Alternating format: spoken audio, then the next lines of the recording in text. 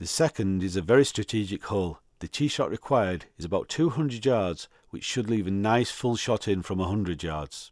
Any tee shot longer leaves a tricky shot off a downhill lie to one of the smallest greens on the course, which is guarded by the ha ha wall at the front and a steep drop behind.